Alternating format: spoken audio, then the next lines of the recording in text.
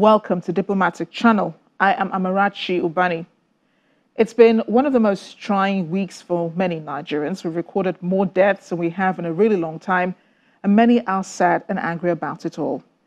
We pray for those who've lost loved ones that they will be comforted, and we ask for wisdom and determination on the part of the leadership to protect lives and property. And that being said, to the program now, in the past week and the weekend, European leaders have been discussing a workable solution towards curbing illegal migration to Europe, which has become much bigger than just people coming from other countries into Europe. Illegal immigration and Germany's open arms threatened Chancellor Angela Merkel's government in the past week. She came under heavy criticism for her policies towards immigrants. Italy and Malta also came under heavy criticism for not receiving rescue ships carrying migrants at sea, over 200 of them. And unfortunately, since 2014, when people from Africa and the Middle East began massive migration into Europe during wars, uh, due to wars, hunger, and other humanitarian issues, Europe is still obligated to open its borders to many more, risking their lives and crossing the Mediterranean. During the meeting in Brussels on the weekend, European Council President Donald Tusk said three of his proposals on curbing migration were accepted by the leaders. As for the text of our compromise, the leaders accepted three proposals I put forward. That is, disembarkation platforms outside Europe, a dedicated budgetary tool in the next MFF to combat illegal migration, as well as boosting EU support for the Libyan Coast Guard. On top of that, we have sent a clear message to all vessels, including those of NGOs, operating in the Mediterranean, that they must respect the law and must not obstruct the operation of the Libyan Coast Guard. The summit concluded with member states agreeing to, on a voluntary basis, set up so called controlled centers to host and transfer migrants that landed on European shores. They say the controlled centers will determine who will be returned and who qualifies for asylum. Remember, this had been the responsibility handed down to Turkey a couple of years ago, a responsibility that Turkey agreed to in exchange for the process of becoming a member of the European Union, as something which has still not happened. In fact, it was between Turkey and Greece to sort the migrants out to determine who would be granted asylum and who needed to be sent back. But being sent back to Africa, Libyans specifically, brought up another problem the existence of detention camps, which have been known to use by people smugglers to sell migrants to the highest bidder. And of course, other inhumane activities going on there. And those in there have told harrowing tales of what life is like, how poor the food is, or how inadequate it is, the lack of medical services, and how insecure the camp is.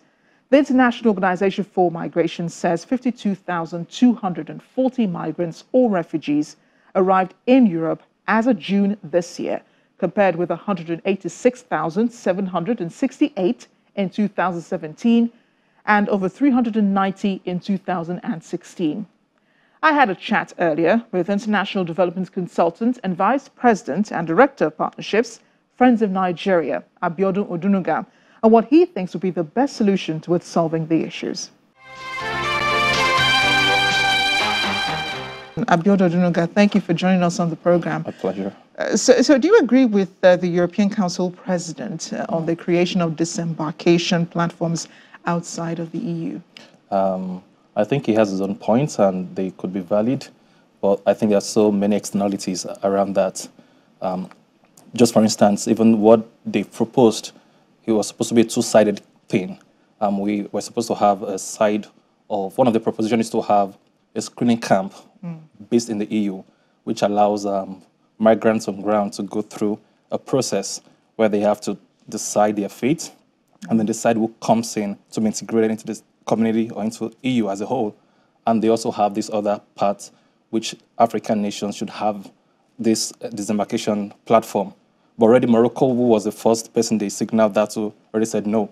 And that makes um, logical sense because not even any of the EU member countries have already signed up to say they would have the screening platform in their own country, mm. not one.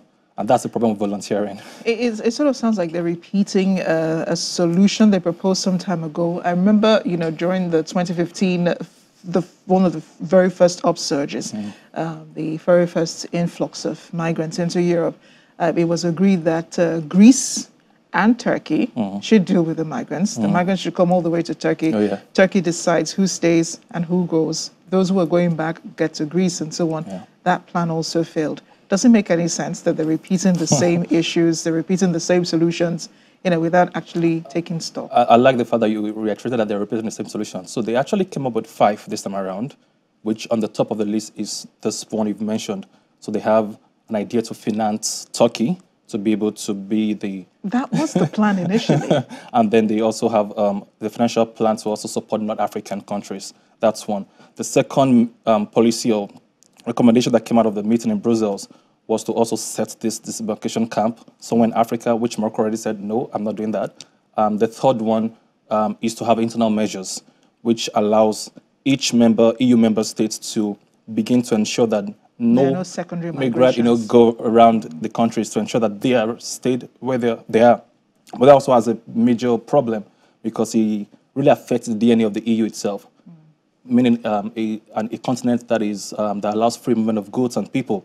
So when you have to checkmate people at borders across the EU, it affects the DNA of why EU actually stands for. I think that that law only applies to people who are citizens of the EU, Exactly. not for they didn't they didn't envisage that they would have you know a migrant crisis like this. But we remember that they asked for the disembarkation platforms. A similar thing almost exists in Libya Yeah. in the form of detention camps, and we know what's happened with that. Oh, yeah.